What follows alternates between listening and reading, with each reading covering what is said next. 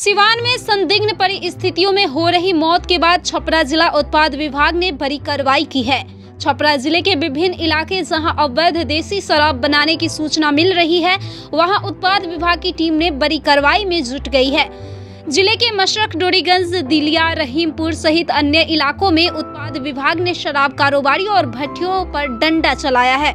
उत्पाद अधीक्षक रजनीश ने बताया कि ज़िले के विभिन्न इलाकों जहाँ जहाँ से शराब बनाने की सूचना मिली थी, वहाँ उत्पाद विभाग ने कार्रवाई की है। इस कार्रवाई में 650 लीटर चुलाई का देसी शराब बरामद किया है। तीस हज़ार किलो जावा गुड़ विनष्ट किया गया है। इस व्यवसाय से जुड़े पाँच कारोबारियों को गिरफ़्तार किया गया है।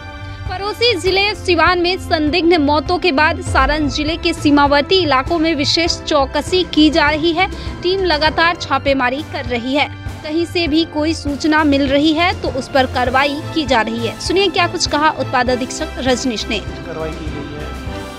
ये हम लोग क्षेत्र में और साथ में सदर क्षेत्र में और दिलिया रहीमपुर क्षेत्र में और गोरीगंज क्षेत्र में लगातार हम लोग अपना जहाँ भी अवैध शराबबंदी की सूचना मिली है वहाँ पर हम लोग कार्रवाई कर रहे हैं।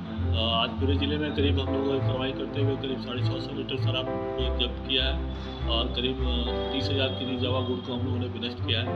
साथ ही ये कार्रवाई लगातार जारी है। हम लोग का पाँच लोगों को अरेस्ट भी किया गया है। हम लगातार आगे कर रहे हैं तो पड़ोसी ज़िले में कुछ संदिग्ध अवस्था में मौतें हुई है तो उसको लेकर के उत्पाद विभाग किस तरह से अलर्ट है? और लगातार हम लोग जो भी सीमावर्ती क्षेत्र है वहाँ पे हम लोग लगातार विजिलेंस कर रहे हैं हमारी टीम लगातार छापेमारी कर रही है। और कोई भी इस तरह की सूचना मिल रही है, हम लोग की वजह करने की तो तुरंत तुरंत कार्रवाई जुरो दीक्षांत से, करो फ्री खुद को स्ट्रेस से। गूगल प्ले स्टोर से दीक्षांत ऐप डाउनलोड कर अपने स्टडी को बनाओ आसान और मज़ेदार। दीक्षांत देता है topic wise video with animated visuals and concept by the study materials